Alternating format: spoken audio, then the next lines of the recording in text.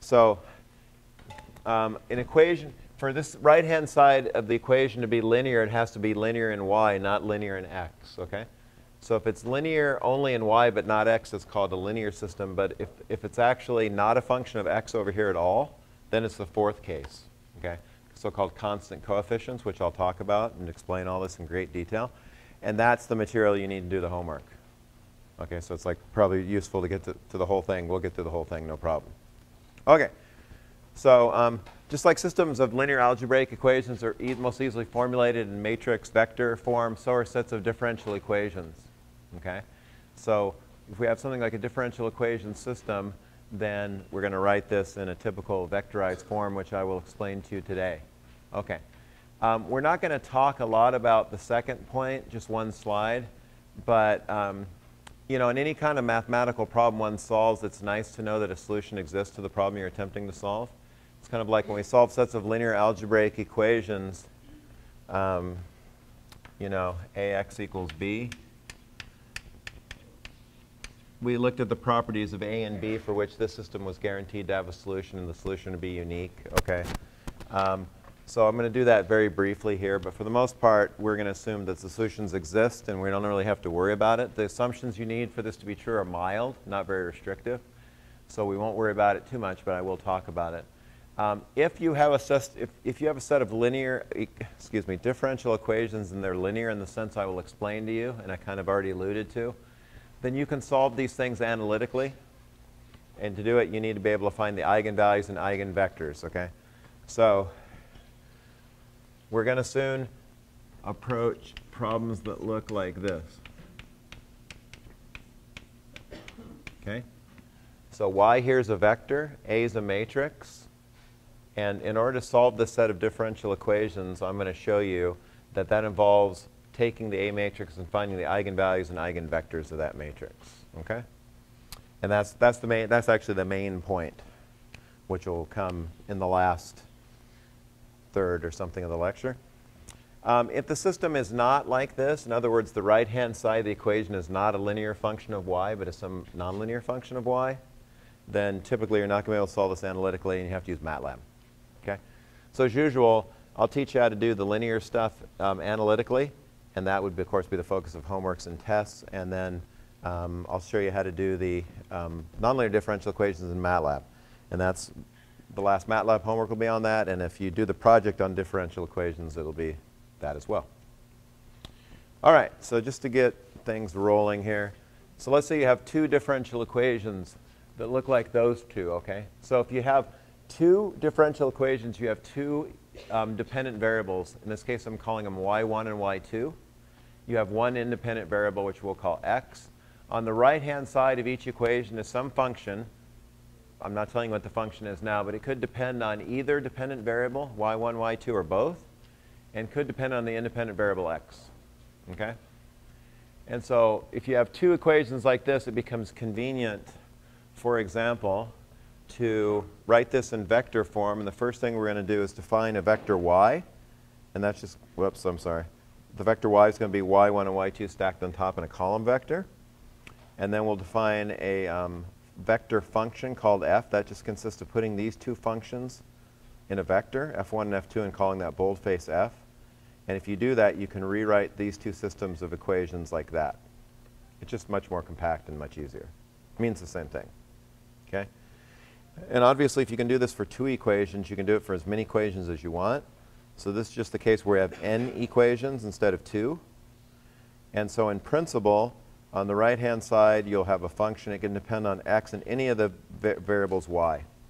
For most problems, it won't depend on every value y. It'll depend on the subset of them. But for now, we'll say the right-hand side of each differential equation can depend on every value of y, y1, y2, y3, up to yn. And so we do the same thing here. Define a vector y, stack all the dependent variables on top of each other in a column vector like this. Do the same thing with the functions on the right-hand side. Put them in a vector function called boldface f and rewrite the equations like that. Okay? So it's just like, you know, it's the, it's the differential equation analog of writing equations in matrix vector form for linear algebraic equations, let's say. Okay? All right. And hopefully when you, when you look at it, I'm guessing you haven't really seen this because you don't really cover this in differential equations, right? So in differential equations, I'm, assume, I'm assuming you learn how to solve a single differential, first order differential equation or a single second order differential equation, right? So you might solve equations that have second order derivatives, but there's never more than one equation, okay?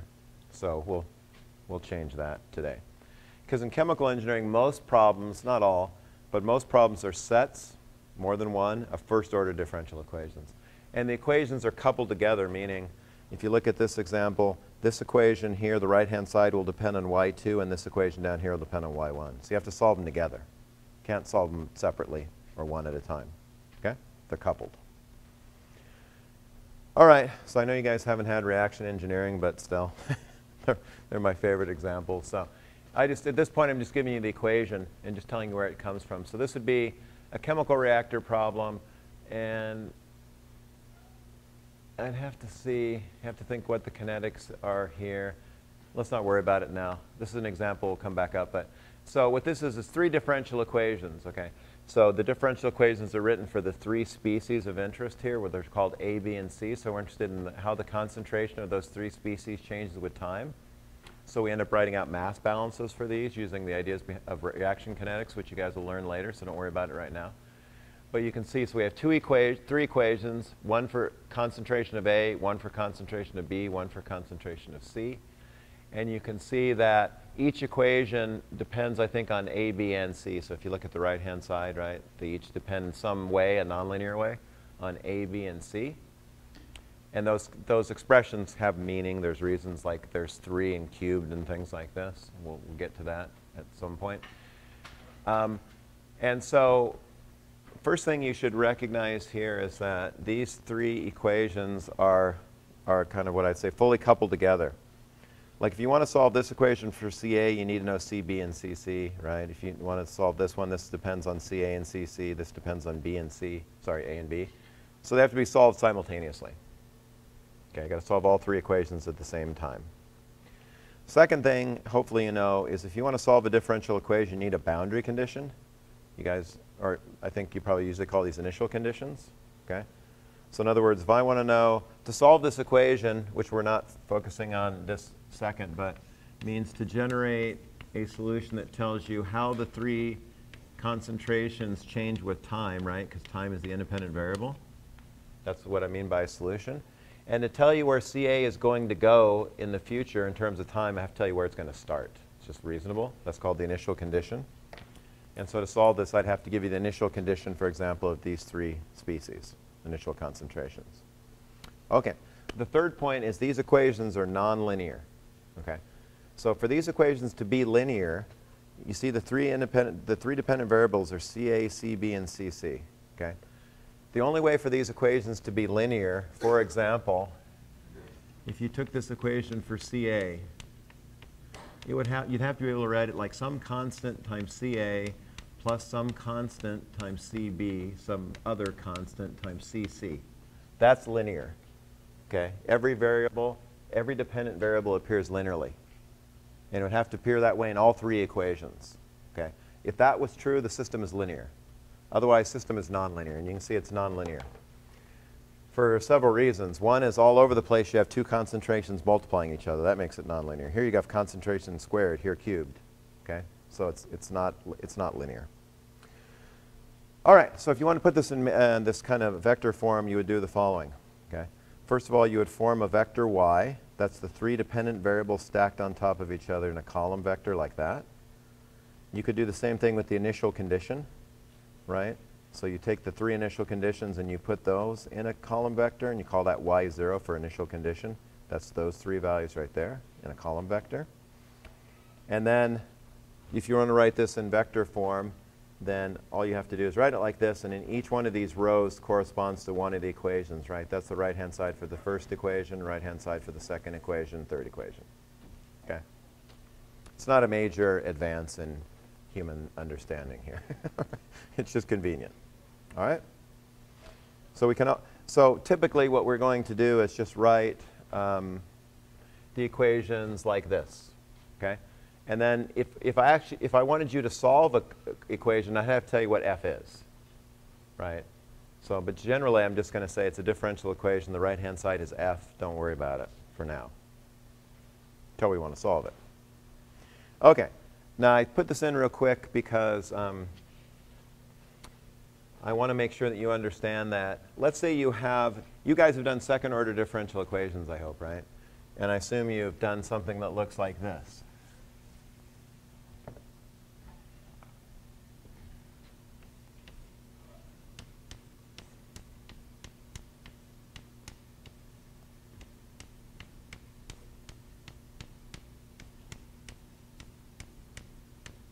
Let's just say it's homogeneous. Okay? Right? And the first thing you probably do is you, you form a polynomial here to find roots, right? And blah, blah, blah. Those are the eigenvalues, by the way, as we'll learn. Okay? Um, okay, so you know how to solve this kind of problem. And they don't do third order equations, I hope. Maybe they do. But, you know, these are the kind of problems in chemical engineering, these things come from like diffusion problems. Okay? Mass diffusion or, or heat conduction type problems you know, for, you may not have heard like Fick's law of diffusion or Fourier's law of heat transfer, things like this. So you'll see these coming up in heat and mass, for example. And so let's say you have a single uh, second order differential equation. I wrote it a little more generally, right? So all I've done is said, okay, we have a second order derivative on the right hand side. There's some function of might depend on the x, depends on the derivative of y, depends on y. In other words, what I've wrote is more general than this because it allows, you could, it could be a nonlinear function of the derivative and things like this. That's just an example I'm sure you've seen. All right, so here's my proposition that I can take any system that looks like this and make it into a first order system. Okay, because all the techniques I'm going to tell you are for systems of first order differential equations. So if you get a problem like this, that's not first order, second order. So I'm going to convert this into two first order differential equations because I like that. Okay, so this is a definition here. I'm going to define y1 to be y, that y right there. I'm going to define a variable called y2, and it's going to be the derivative of y. You might say, why are you going to do that? And the answer is because it's convenient. Okay? And I'm going to put those two y's in a vector called y1 and y2. All right. So that means if you were to write out what the derivative of y1 is, let's say,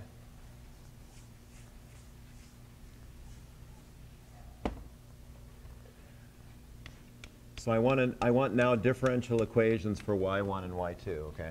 So I'm going to write the derivative of y1. Well, that's the same as the derivative of y, right? Because y1 and y are the same thing. And by definition, I, ca I called that I called that derivative y2, right?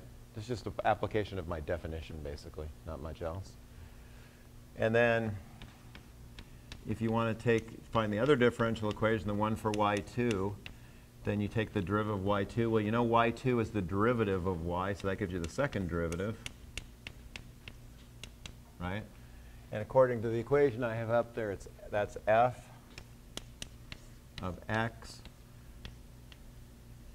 and y and what? dy dx? Okay. So y, or say it should say dy dx is defined to be,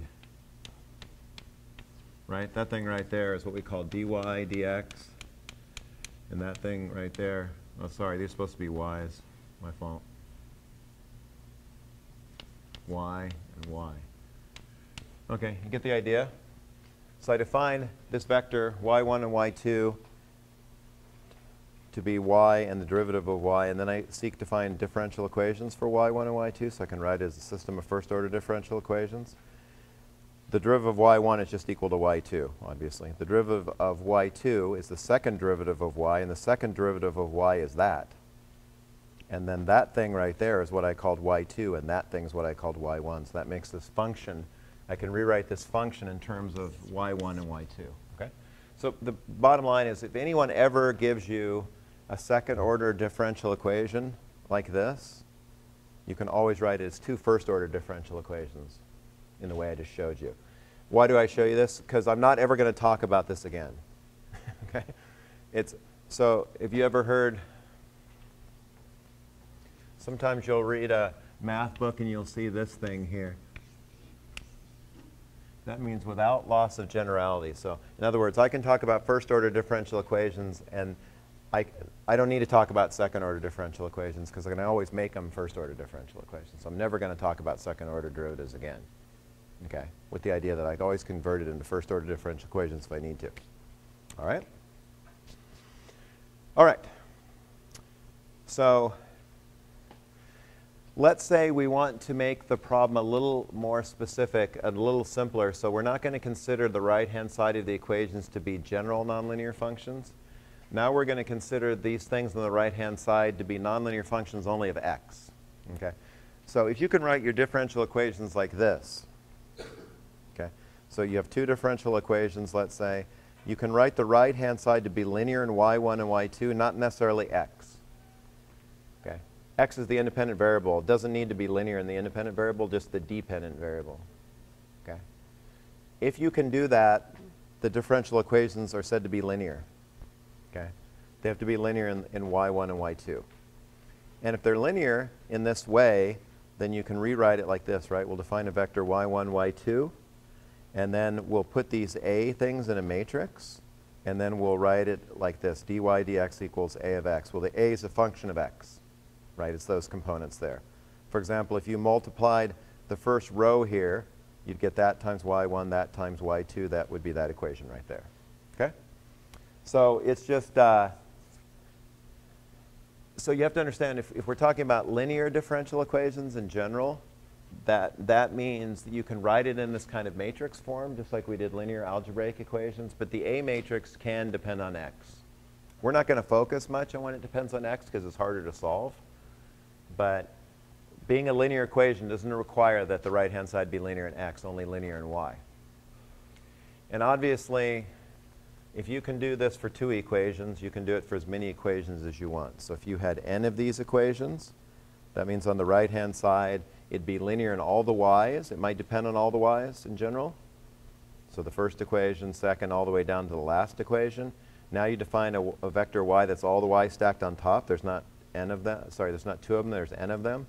Now this is an n by n matrix where the coefficients are those things there. Just looks just like a matrix problem you've seen before. It's just the entries now depend on x.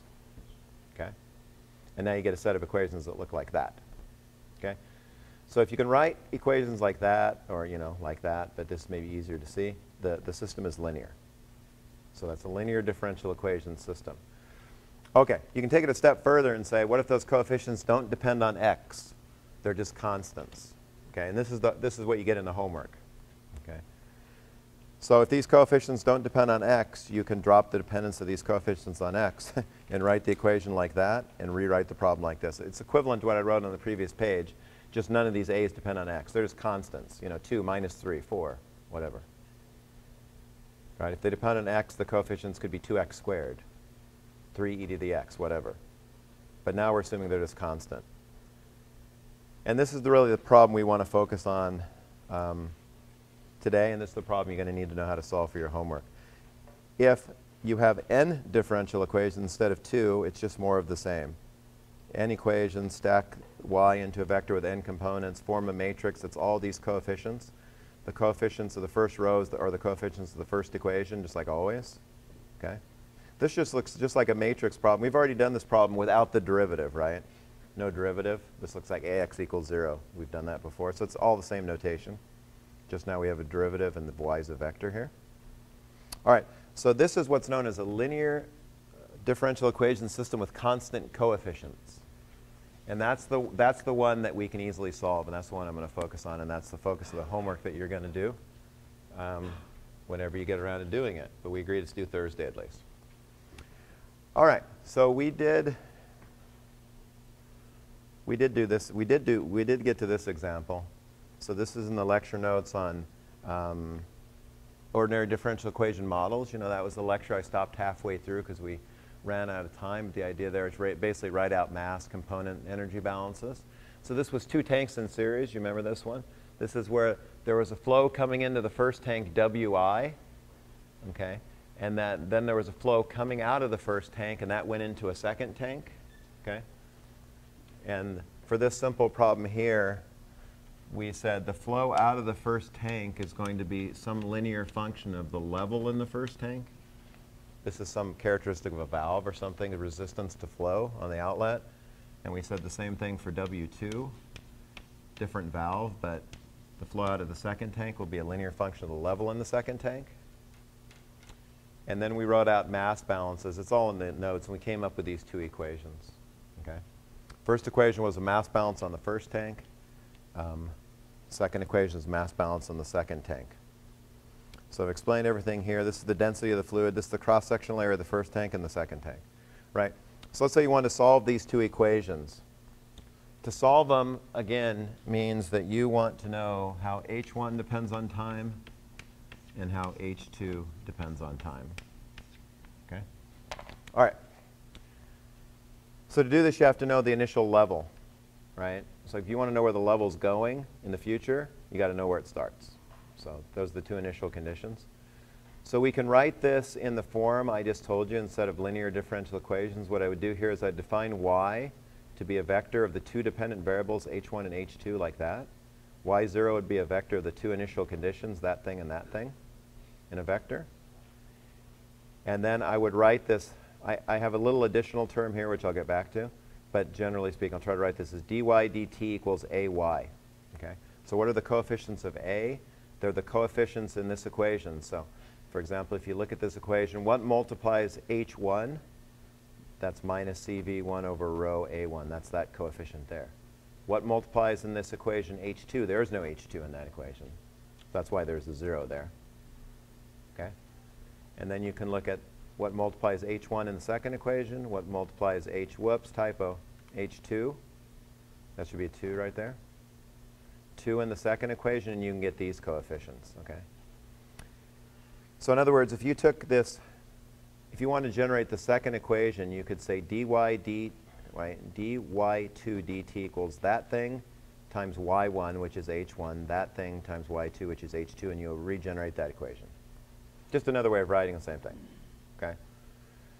All right, of course, the difference here is that there's also this term floating around, right? There's, this term doesn't involve h, but it's not 0 either. And so we have to add that on to the first equation right? So the first equation is that times y1, also known as h1, plus that. Okay.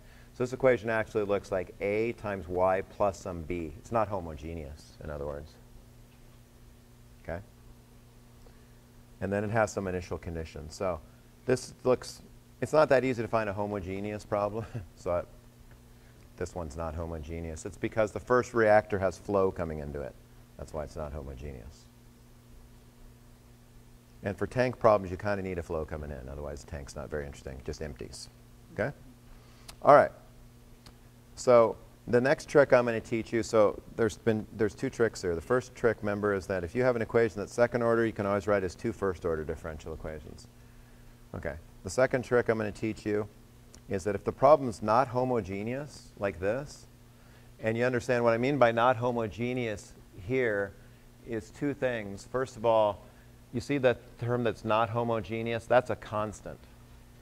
That's not a function, right? You see the wi. At this point, I'm assuming that's a constant. It's, it's a different story if it's a function, a function of time, okay? Then you have a right-hand side that equals a function of time. Now it's just, I'm assuming it's just a constant, okay? So this thing is a constant, and this differential equation involves time, right? You understand, I do a lot of things with time because I like time, whatever that means. Um, you know, the other, other independent variables could be space, right? Right, there's four dimensions. There's three spatial dimensions and, and time. So I tend to write a lot of equations where the independent variable is time. And so if you have something that is a differential equation in time, that system might have a steady state. You know what I mean by steady state? That means what the solution looks like for really large values of time. It Doesn't make sense for something to have spatial coordinates unless you're talking. You guys haven't taken heat or mass or any of that stuff, right? But when you do, you'll learn how to like heat transfer in the semi-infinite slab, like a slab that starts here and goes on forever. okay.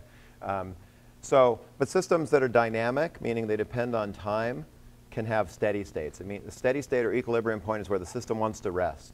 If you don't perturb it, it'll stay there. Okay. So I'm using the fact that this is a constant, and I'm also going to use the fact that these are differential equations in time and I'm going to convert this equation into a homogeneous problem.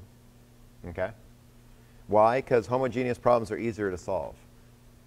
Because you remember how to solve a non-homogeneous problem, right? You find the homogeneous solution and then a particular solution and you add them together. Does this sound familiar? Right? I don't like finding particular solutions because they're particularly annoying. So I'm going to take my problem and convert it into a homogeneous problem. And the trick goes something like this. All right.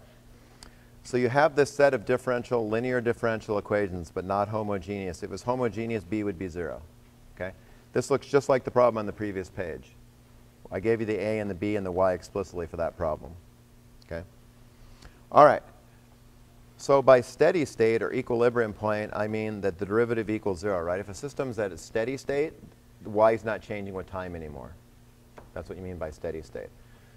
And so I'm going to call the value of y, right? y is a vector. I'm going to call that value of the y vector y bar, right? Because this y here actually depends on time, but I don't write it because I'm lazy. So I need to differentiate the one that depends on time from one that does not. The one that does not gets a bar on top of it.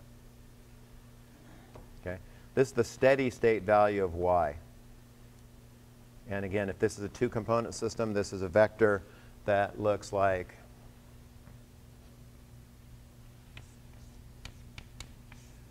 you know, steady state value of y1, steady state value of 2 in a column vector. All right. So now I'm going to make the assumption that the, that matrix A there is invertible.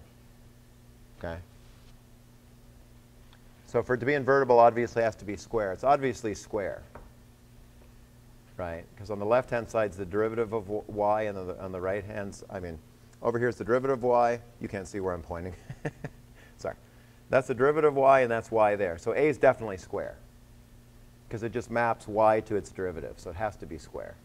But it may or may not be invertible, but we'll assume it is. And if it is invertible, you can solve for y bar like this, right? This basic concept of linear algebra.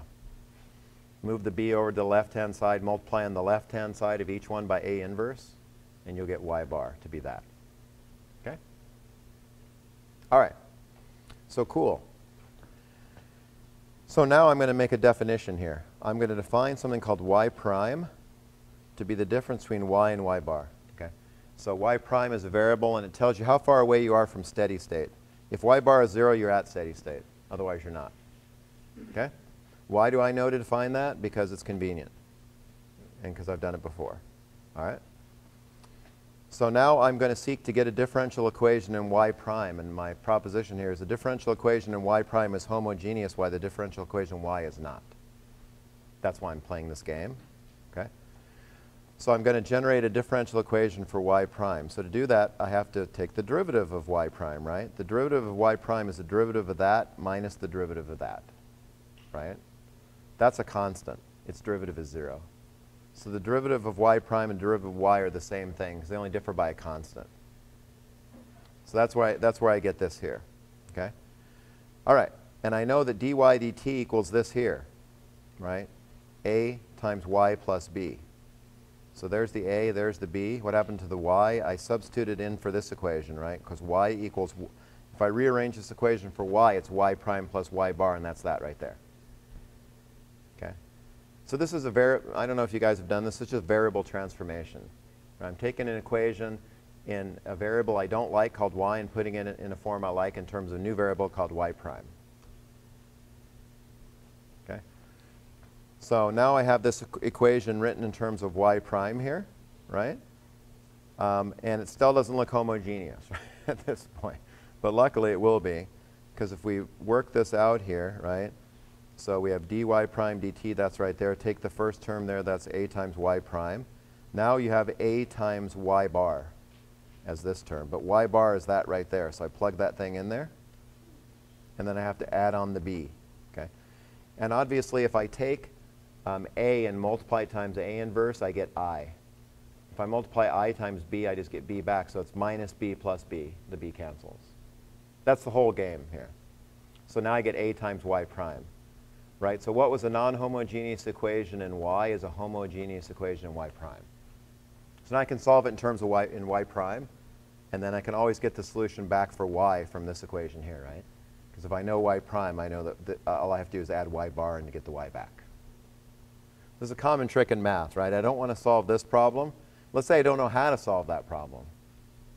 Then I reduce it to a problem I know how to solve, which is this one, solve it, and then transform it back to y when I'm done. All right? Okay, so now I'm not going to talk about non-homogeneous problems. At least not, that, not where the non-homogeneity is a constant. This would be a different ballgame if this was a function of time, right? Because then this whole argument would fall apart. It would fall apart where would it fall apart? Um, let's see.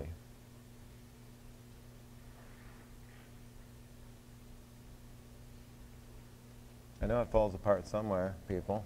Let's see.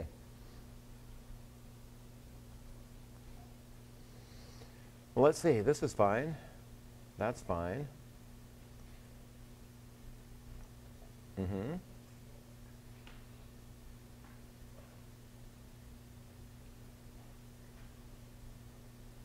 Hmm. I don't see where it falls apart.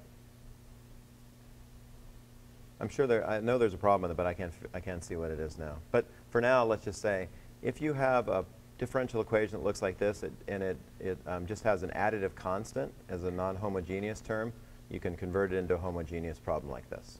Okay? All right. So, before we get to how we actually solve these problems, this is just meant to give a one-page summary of when this problem has a solution, right?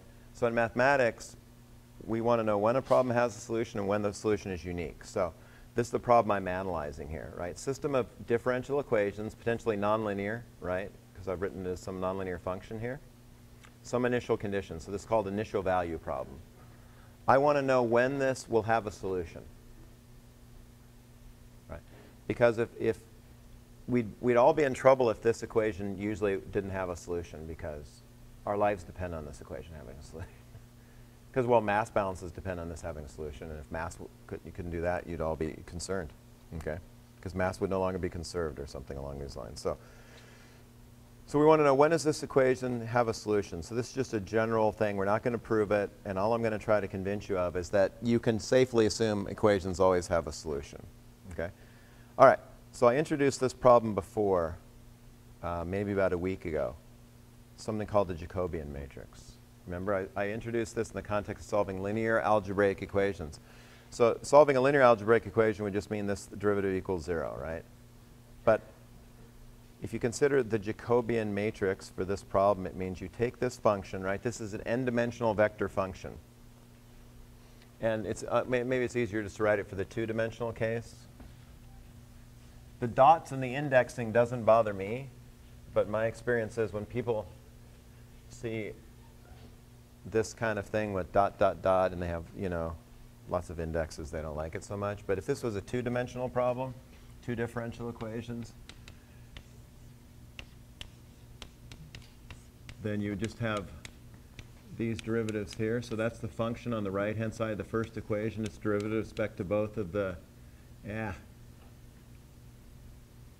sorry, dependent variables, y1 and y2. Hope I didn't screw that up on the slide. Good. And then same thing for the second equation. That's the right-hand side of the second equation.